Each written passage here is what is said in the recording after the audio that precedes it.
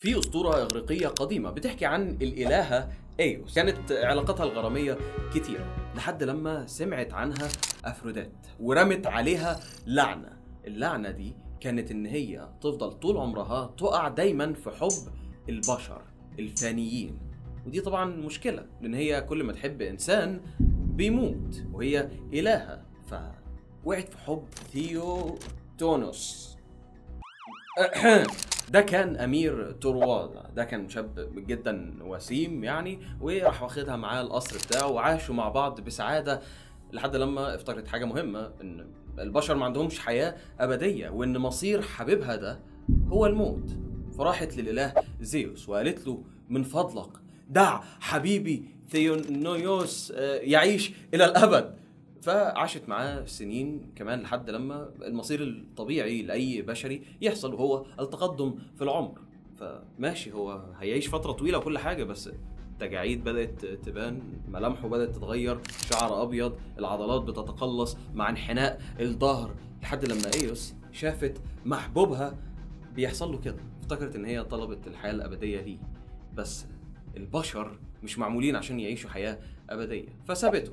وراحت لشباب تانيين تعمل معاهم نفس الموضوع. ولكن هي نسيت حاجة مهمة. البشر مش عايزين الخلود ولكن هم عايزين النهاية الطبيعية للحياة. خصوصا إن كل يوم الإنسان بيبص على نفسه وهو بيفقد صحته أكتر وأكتر. وايوس متألقة بنور الفجر تبهدل الشباب المسكين ده. الشاب اللي إحنا اتكلمنا عليه أول واحد الأمير ده فضل يضعف ويتقلص ويتقلص لحد لما بقى في حجم العنبة. true story بالنسبة للميثولوجيا الغربية يعني. أكتر دعوة بندعيها لنفسنا وغيرنا هي العمر الطويل. يعني مين فينا ما بيتجرحش وهو بيشوف أهله بيكبروا في السن وعلامات التقدم في العمر بتبدأ تظهر عليهم مع تحول حياتهم من القوة للضعف الجسدي. دي حقيقة الحياة. ومع مرور الوقت الناس لما بتكبر قدراتهم بترجع لنفس القدرات بتاعتهم لما كانوا أطفال. نفس احتياجات الصغار من الأكل الشرب دخول الحمام والحركة. بس تفتكر لو فضلت عايش سنين طويلة لحد مثلا لما توصل 150 سنة أنت كده هتكون سعيد؟ الحقيقة إن البشر أعمارهم دلوقتي أطول من 3000 سنة فاتت. وده بالنسبة علشان يعني إن أمراض كتيرة بقى ليها العلاج بقى في عندنا الفاكسينز وكمان يعني ما بقاش في حروب كل خمس دقايق ففي أرواح كتيرة تم إنقاذها. man أنت دلوقتي يعني بتقيس النجاح بتاعك بإنك في ما بين سن ال 20 وال 30 تكون متجوز وعندك بيت وشغال. حبيبي من 3000 سنة معيار النجاح هو إنك تعدي سن ال 20 بس أنت لو عديت سن ال 20 كده يبقى ما شاء الله عليه. ما شاء بجد ما شاء الله. he made it والله made it he made it العلماء لما يحبوا يعملوا تجارب على الحيوانات واختبارات وكده بيكونوا عايزين يخلوا الاختبارات دي حاجة برضو تنطبق على البشر. ويعني الحيوان اللي هيعملوا عليه التجربة دي هيدي لك نفس النتيجة اللي تقدر بعد كده تطبقها للبشر. فعشان كده بينقوا القدرات المماثلة. على سبيل المثال تعال نجيب مراية نوقف قدامها حيوان من الثدييات زي القرد ونحط علامة على وشه. بلون مميز. فلما يبص على نفسه في المراية هتلاقيه بيدي رده فعل. يعني بيفركها بإيده بتلاقيه بيحس إن لأ في حاجة غلط. بيعرف نفسه وبيكتشف إن في حاجة غلط. ولكن ماذا لو ما عملش أي ردة فعل؟ مفيش استجابة. الحقيقة هي دراسات سلوك الحيوانات وبعد كده لما تقارنها مع الإنسان بنلاحظ إن في تشابهات في العمليات البيولوجية ما بين كل طرف. يعني أيوة الحيوانات التانيين بيحبوا ياكلوا بيحبوا يناموا بيحبوا يشربوا بيحبوا التكاثر زي البشر. ولكن في حاجة واحدة بس مش قادرين نلاقي ليها تفسير منطقي وهي إن إحنا لو شفنا الفيديو اللي زي ده لولادة حيوان. يعني أي حيوان. هنلاحظ إنه مش بيحتاج رعاية زي اللي الإنسان بيحتاجها. تحذير يعني تحذير عشان هنشرح بزيادة دلوقتي ففي مشاهد صعبة هيتم عرضها. تمام؟ خلي بالكم. ده فيديو لزرافة بتولد.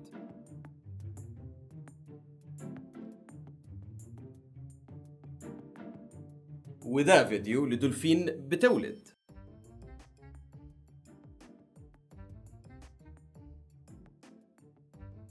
وده فيديو لقطة بتولد.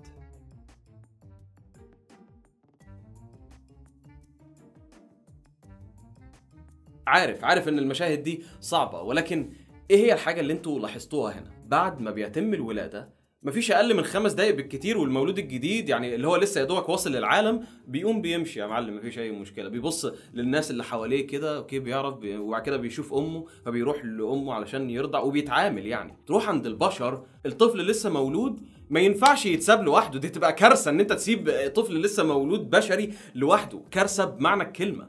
لا حول له ولا ال- الطفل لسه موجود ده بس هو بيفضل قاعد كده. عمال بيحرك دراعاته ويعيط ومش عارف يعمل إيه.